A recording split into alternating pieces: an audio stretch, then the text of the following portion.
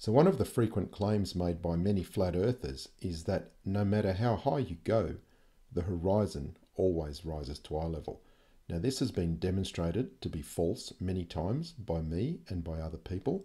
And in this video, I'm going to show you another video produced by Critical Think with a very simple experiment that confirms once again the horizon does not rise to eye level.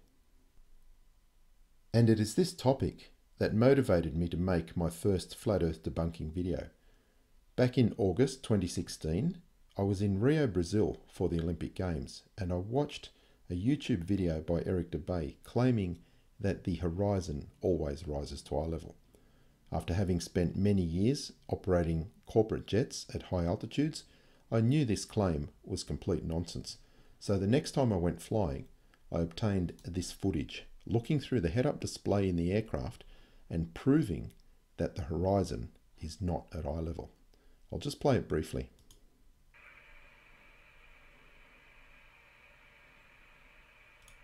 What you can see there is I am indicating the difference between true level as indicated by the velocity vector in the head-up display and the position of the horizon.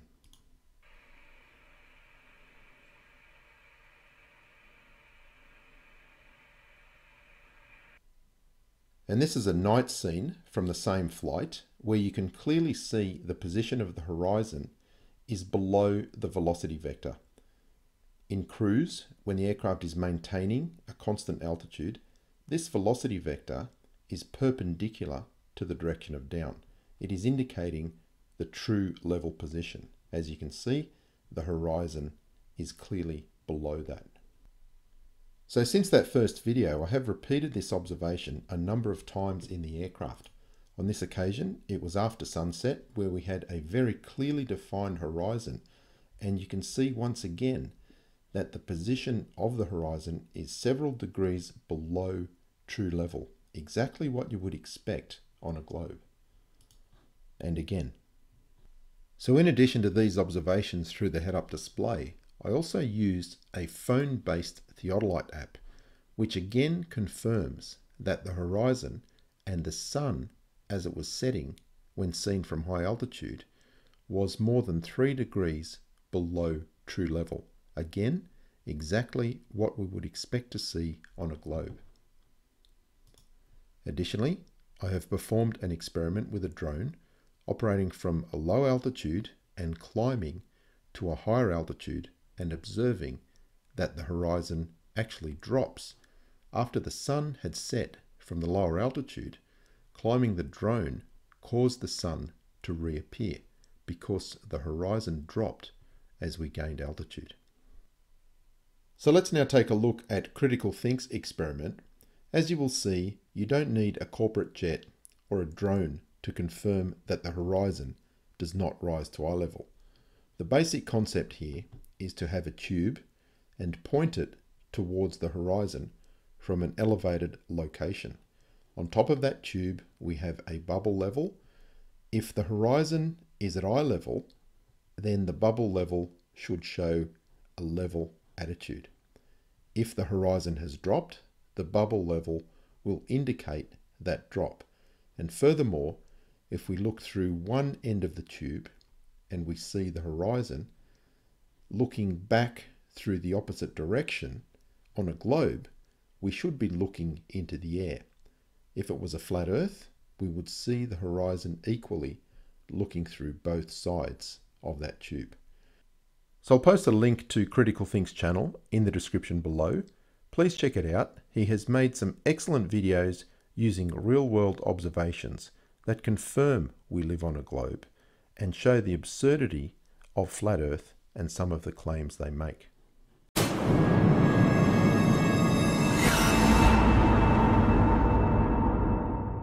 Hello, flatties and globe defenders. It's Critical Think from down under here, and I'm at Byron Bay, Cape Byron, and we'll move around so you can see the lighthouse there in the background, and plenty of people here today, as you can see. I've got my uh, tube and spirit level set up just for you, Antonio. Uh, you've got this experiment you said we should do. Well, I've done it. So here's my spirit level. I've also got a tube, just a bit of um, double trouble there for you, Antonio. We'll uh, have a look at the results of this and, and we'll see how it turned out. Yeah. Now let's listen while Antonio tells us how to discern globe from flat. Then we have a light blue line, which would be the drop to the horizon. Okay, this is a theoretical line, this line. If this was actually true, make sure I'm showing everything. If this was actually true, there would be a way of proving it. If instead this was more like true, there'd be a way of proving that. Okay, obviously this being a horizon line would present a horizon along that line. So how can we test which of these it might be? Well, here I have a red tube, a thin tube. Do you mean like this? But it's not red. Does that matter?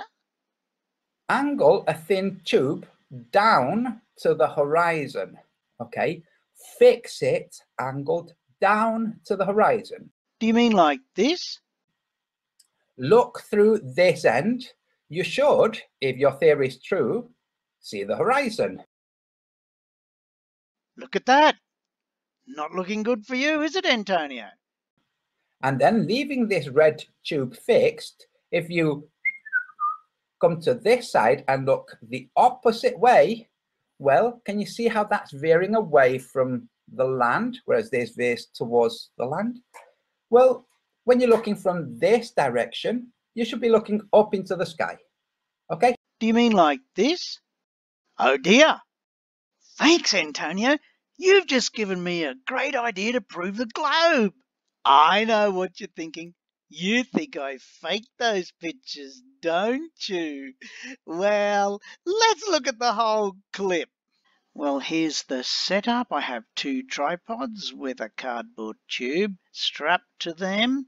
And on top of that, I've got a spirit level strapped to the tube. And that's to tell if I've got a, tilt downwards or upwards and also to give me a line of sight along the spirit level as a second measure. As you can see, the spirit level is not level, it's lower on the left. We'll go around and take a look behind the spirit level and we'll sight it up to the horizon. There, that mat's pointed right at the horizon. And then when we look through the uh, tube, Look at that, the horizon, you can see it. And we go around to the other side. And we sight along the horizon. There. Oh, oh dear, that's pointing above the horizon, Antonio. And when you look through the tube, it's pointing up into the sky. The Earth's a globe. You've helped me prove it, Antonio. You're one of us now. You're a globling. How does that feel? Ah, let's just check this out again. Look, it's still leaning down that way. It's still a bit of a tilt.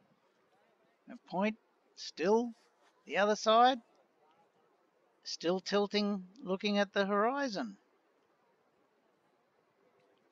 Wow, how about that? It's very simple.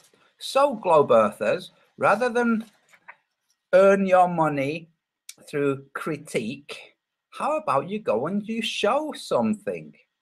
Show it because we will be showing it. We'll be showing it. Now, if you haven't been able to show the opposite, then mm, it's starting to look even more ludicrous for you.